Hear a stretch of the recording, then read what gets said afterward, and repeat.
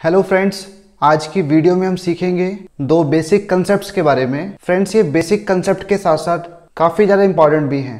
तो फ्रेंड्स वो basic concept है hard copy and soft copy friends अगर आप स्टडी करते हैं या ऑफ़िस में जॉब करते हैं या आपका अपना इंटरनेट कैफ़े है या आप स्टूडेंट हैं तो आपको ये पता होना चाहिए कि सॉफ्ट कॉपी क्या होती है और हार्ड कॉपी क्या होती है और इनमें क्या डिफरेंस होता है। और कुछ लोग तो सॉफ्ट कॉपी को सॉफ्ट कॉपी डॉक्यूमेंट के नाम से जानते हैं और हार्ड कॉपी को हार्ड कॉपी डॉक्यूमेंट के नाम से जानते हैं। बात तो सेम ही है, फिर चाहे हार्ड कॉपी बोले या हार्ड कॉपी डॉक्यूमेंट बोले, या सॉफ्ट कॉपी बोले या सॉफ्ट कॉपी डॉक्यूमेंट बोले। और फ्रेंड्स अगर आप नहीं जानते हैं हार्ड कॉपी क्या होती है सॉफ्ट कॉपी क्या होती है तो फ्रेंड्स आज की वीडियो को देखने के बाद आपको ये क्लियर हो जाएगा कि सॉफ्ट कॉपी क्या होती है हार्ड कॉपी क्या होती है और इनमें क्या डिफरेंस होता है। तो आइए फ्रेंड्स जानते हैं। और गाइज़ अगर आप हमारे कंप्यूटर गाइडर चैनल पे फ़र्स्ट टाइम विज़िट कर रहे हैं तो वीडियो के नीचे रेड कलर के सब्सक्राइब बटन को प्रेस करें और साथ ही में नोटिफिकेशन बेल आइकन को ऑन करें, जिससे कि चैनल पर आने वाली न्यू वीडियोस का लिंक आपको सबसे पहले मिल सके। तो आइए स्टार्ट करते हैं।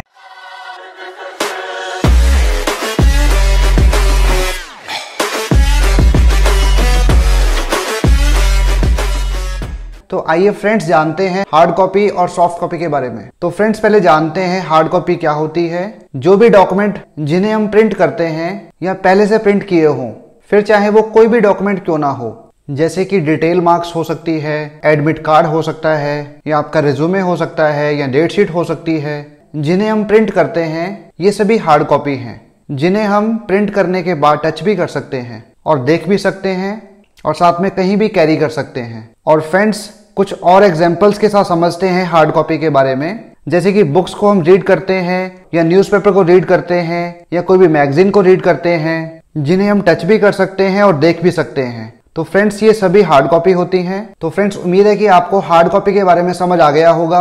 और फ्रेंड्स अगर आपने इस वीडियो को अभी तक लाइक नहीं किया तो वीडियो को लाइक करें। और फ्रेंड्स अब जानते हैं सॉफ्ट कॉपी के बारे में। तो फ्रेंड्स जो भी डॉक्यूमेंट हम लैपटॉप में क्रिएट करते हैं, या कंप्यूटर में क्रिएट करते हैं या मोबाइल में क्रिएट करते हैं, जिन्हें हम कंप्यूटर या मोबाइल की मेमोरी में सेव करते हैं, या पेन ड्राइव में सेव करते हैं और फ्रेंड्स ऐसा भी हो सकता है कि कुछ डॉक्यूमेंट्स कंप्यूटर या मोबाइल की मेमोरी में पहले से सेव किए हो। तो फ्रेंड्स ये सभी सॉफ्ट कॉपी हैं जिन्हें हम टच नहीं कर सकते हैं। देख सकते हैं बट टच नहीं कर सकते हैं। और फ्रेंड्स कुछ और एग्जाम्पल्स के साथ समझते हैं सॉफ्ट कॉपी के बारे में। सॉफ्ट कॉपी कोई भी ऑफ़िस की फ़ाइल हो सकती है, फिर चाहे वो माइक्रोसॉफ्ट एक्सेल की फ़ाइल हो, या कोई भी प्रेजेंटेशन हो, या कोई भी ई बुक हो सकती है, या किसी भी तरह की कोई भी डिजिटल फ़ाइल हो सकती है। तो फ्रेंड्स ये सभी सॉफ्ट कॉपी हैं, जिन्हें हम टच नहीं कर सकते हैं। तो फ्रेंड्स आप जानते हैं हार्ड कॉपी में और सॉफ्ट कॉपी में क्या डिफरेंस होता है। तो फ्रेंड्स जो सॉफ्ट कॉपी होती है, वो कंप्यूटर या मोबाइल की मेमोरी में सेव्ड होती है, जिसे देखने के लिए लैपटॉप या मोबाइल को स्टार्ट करना पड़ता है।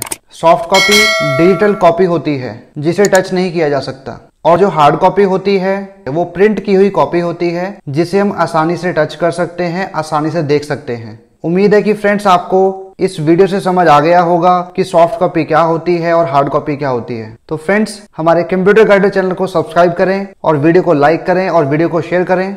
मिलते हैं नेक्स्ट वीडियो में। तब तक के लिए stay healthy stay safe bye